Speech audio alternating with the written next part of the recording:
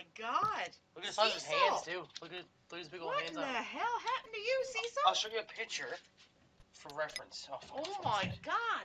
Yeah, well, he's big. now. Holy crap, he got big, Jared. He's I'd say he's like six inches maybe, maybe six and a half now. The max they can get is eight to ten inches long. Oh my God. That's almost a foot.